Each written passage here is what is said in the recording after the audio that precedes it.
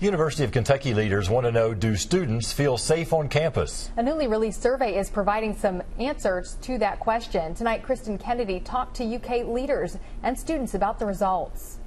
Recent results of a University of Kentucky student safety survey show more than 90% of students feel safe on campus. I feel very safe on UK's campus. I've never had an issue. It's all well lit when walking back, even from the K lot, which is kind of far away. I'm pretty safe on campus because there's a cat's path where there's pause and that's where you're going to be seen 24-7 with a camera. We want them to know where do you go?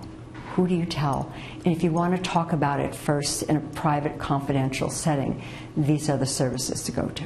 Dr. Diane Follingstad created the survey. It's the first of five students will take to help her team help victims. The students could give comments at the end of the survey, and a lot made comments about what they wanted the police to do. Some of the suggestions students made that UK police are putting into practice are more officers patrolling, more surveillance cameras, and more emergency call boxes. With nearly 2,000 cameras now deployed on campus, we're seeing our crime numbers really starting to drop. UK Police Chief Joe Monroe says his department learned that through the survey, a majority of students didn't feel like safety was their responsibility. These um, young kids and teenagers feel like it's somebody else's responsibility for their own personal safety.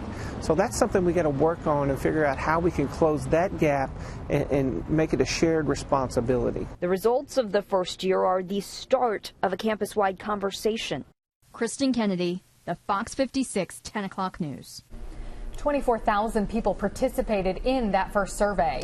UK leaders are getting ready to send out the second of five surveys.